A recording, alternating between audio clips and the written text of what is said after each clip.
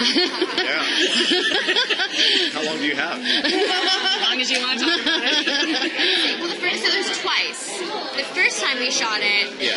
outside, and what we had to do is like, there's a video I think I put on Instagram or Twitter, and you we had to jump into the water, and we were told that no matter what was happening, don't come out for air for like 10 seconds because they had a, a, a fire cannon that shot over the pool once we like went under. Do you guys want to see it? I have that on my phone. It's like it's epic. I showed it to, to, to somebody afterwards, and they're like uh, uh, uh, freaked out. But What did the cannon do? shot fire, Oh, like, oh, okay. like okay. actual like fire. I legit want to find it for you. really. Yeah, yeah, yeah. It's, it's it's honestly one of my proudest moments. I feel. I feel like I should earn my stunt woman license from it. Um, that was the first time we did it, and then we didn't have enough time because the sun went down to catch the under like more of the underwater stuff. The second time we did it, we like sandbags under the water that At the we bottom of would the pool. bottom of the pool that we would go like take our you know deep, deep different like breaths, and then we had like a breathing We- underwater breathing. we had on top of divers. it. We had was going to divers. say divers. We had divers. We had divers with like the air, the oxygen stuff. So we would like take our breath, we'd go down, they'd put like the oxygen thing in our mouth, and they'd latch our, our feet onto sandbags, like in the deep end of the keep pool. Yeah, to keep us down. And then, uh, I know, too.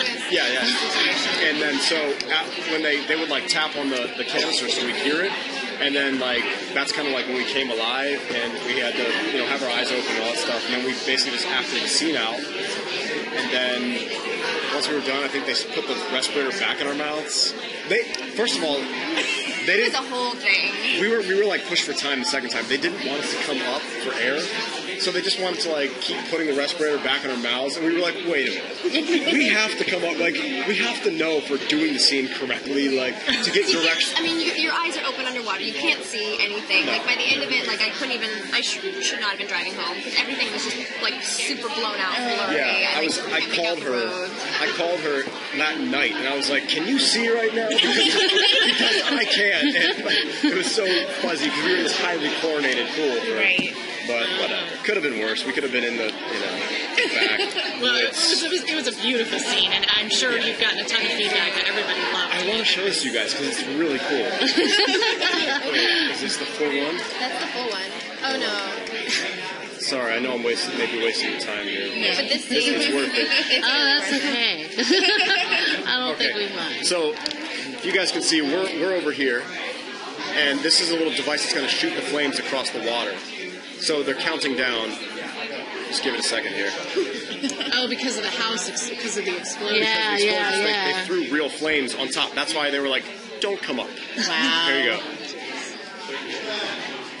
And the camera's of course underneath. All right, so that's you jumping in. Whoa! Whoa. Right. That is. So, so Wow. we didn't know that's why we couldn't come up. They didn't tell you. tell you Well, we knew there was flames, but we didn't see that. You didn't know it was going to be like a We huge didn't- fireball Right. cannon. Yeah. Yeah. I actually I sent this exact clip to Meredith, who was back in LA, our, our creator, and she was like, "Oh my god, don't ever send something like that again," because you know uh, she was yeah she was a little like she was a worried mother. Well, at least you knew you were all well by that point and Yeah. you lived through it. Yeah, I was missing all of my hair. But, yeah. Anyway, good times. Good That was my question.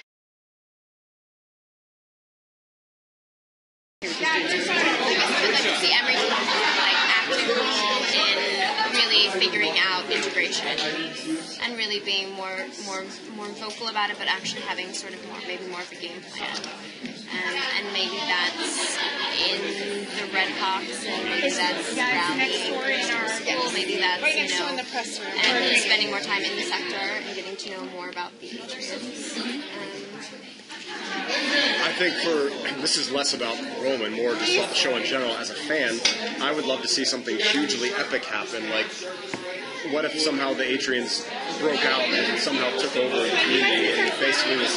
What if what if the humans were moved into the sector and they were holding the community hostage and so on? I just think that'd be cool. I, it's not been mentioned, but I just, it would be so hugely So epic it's sort of like a reverse. Yeah, See, like Yeah. flip the tables on them. yeah. How cool would that be? You know?